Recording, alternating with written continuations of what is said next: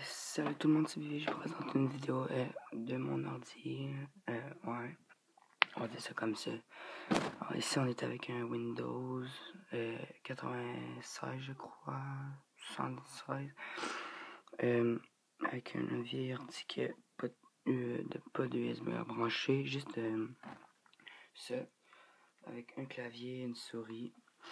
Ouais, euh, c'est le meilleur le setup. Euh, je vais vous montrer plus tard euh, avec euh, comment dire je vais montrer qu'est-ce qui qu'est-ce qu'on peut faire dessus bien sûr. Plus tard avec une deuxième vidéo je vous laisse avec un petit moment de